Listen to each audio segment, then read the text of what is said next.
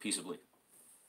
Oh yeah, the coin. So there's the coin. We were talking the other day about empires and the colonial era, and we tossed around a couple of. Uh, we were talking pretty fast. The music. It was the day the DJ, the thirty, the the DJ who was thirty years younger than me was in here, and uh, you know we were listening to music and we were talking about a lot of different things. And I was reminded of this coin that I keep around all the time, and of uh, when we think of the empire's ending now in the 21st century, I think that it has a historic context that's been slathered onto it that makes it seem like it's ancient history when it's not really that ancient. Uh, within my lifetime, my father's lifetime, there are, you know, there are places where it didn't end until like 74, you know, or you can say even later in some places. Um, but I have this coin, and it's an Indian rupee from 1940. Okay, can you, can you get that? Let's see if we can get that. I think you can, right? and it has on it when you look at the uh, face the head's side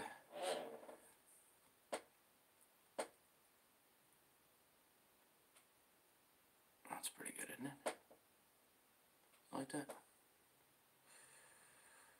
maybe it's fuzzy on the stream I don't know that's George there George sixth King Emperor is what is printed on this coin 1940. And uh, probably my dad passed it on to me somewhere in all the different coins he's given me over the years. And I keep it around as a reminder of why the discourse we were having the other day is not um, like new flash in the pan conversation, but a long time building. We're in the dawn of reframing the colonial era. And in 1950, you had Cesare Aimé's Discourse on Colonialism. I'll just add that here. 1950. Um,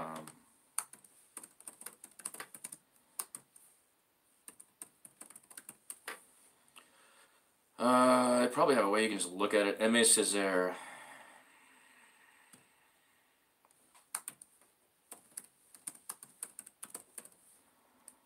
right?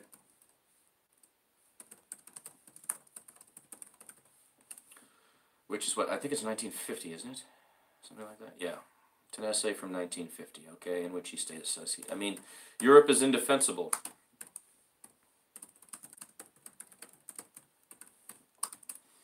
So there was this point in the middle of the century after the wars when it seemed like there was going to be real dialogue about how to uh, flip this script. Major pieces happened. Uh, a famous one is the Situationists, of course, uh, 1950, that same year on Easter, charging into the uh, into the Notre Dame during the Easter uh, Easter Day ceremonies, dressed as monks, running to the thing.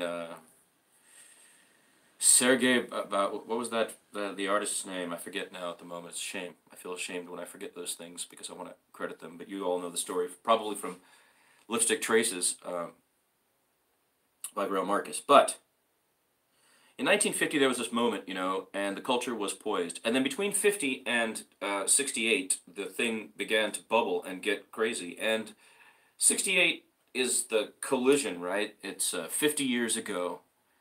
And this year we didn't get enough 50 years ago about the people's side.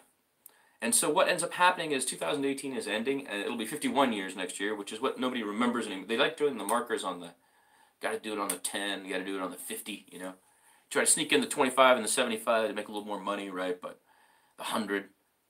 The 50th anniversary of 1968, the assassination and murder of Martin Luther King Jr. in April, which, if you've read anything, I've interviewed the authors of books who have written and proven uh, government and FBI and agency involvement there. Then you have the man leading the entire nation, Robert uh, F. Kennedy, and uh, taking California and about to become, you know, all right, let's get this on, and his assassination. Then you have Mexico City, Paris, the Olympics in October. 1968 was this year very actively suppressed, wiped over, and erased by a tactic of um, sucking the volume away, just not doing anything about it. This tactic was used in a smaller format to the anti war protesters of 2002 and 2003, culminating in the 15 million worldwide on February 15th, 2003, that I call World Peace One, that happened independent of the, the utter suppression of it happening and the erasure of it since then uh, by the wars themselves and um, so many other changes in policy to our society, uh, Patriot Acts, etc.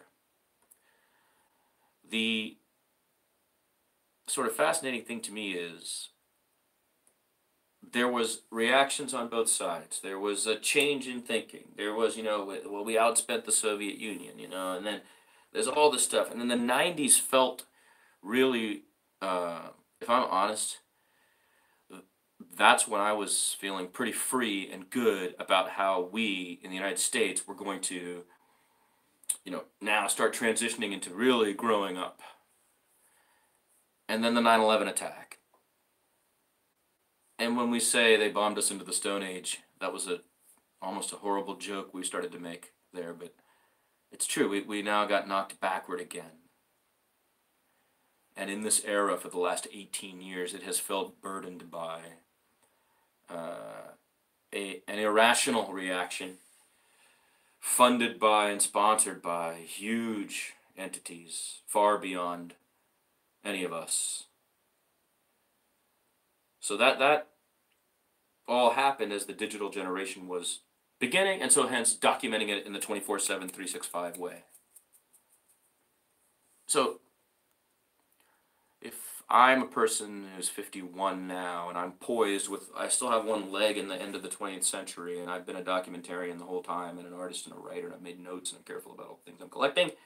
Part of it has to be an expression about um, what I have called in the past a parallel history. A parallel history that you could pick a 0.4. It could be, say, for example, um, November 22nd, 1963. Okay, I'm going to take that as my origin. And uh, one side of history is going just like this. One side of history very quickly, within seconds, is going like that. President dies an hour after being shot by lone sniper. The message. And I'm gonna not. I'm gonna. I'm gonna divert, divulge from that. Okay. And then I'm gonna look at. You know, you can go. You can pick any date you want, really, in history, and do this. And you can create for yourself, right? For yourself, a parallel history. And then you can. Uh, go and find uh, evidence or books or research.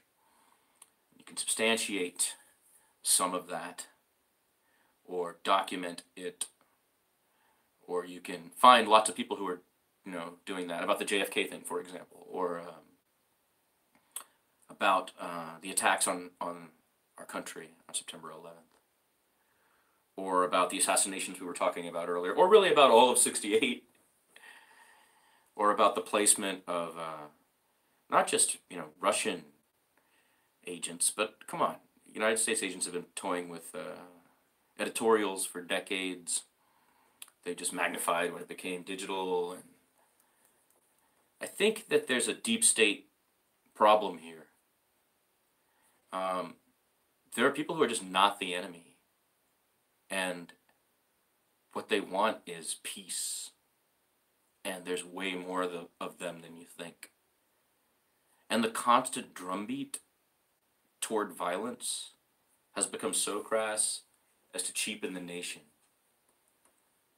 and make people more ignorant because they cling to one thing like uh, a need to, to have guns a certain way or whatever. I mean, total freedom in guns. I think we're poised now to. Um, oh,